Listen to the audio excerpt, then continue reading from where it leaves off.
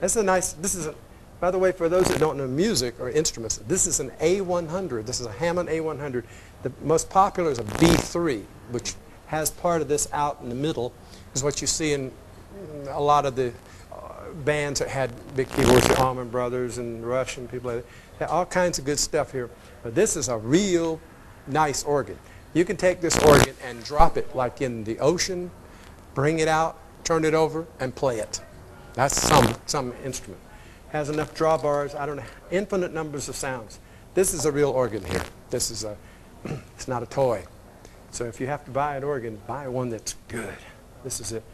You take some of the sounds that you hear on any of the older 70s and 80s songs that have good organ. That's what it is.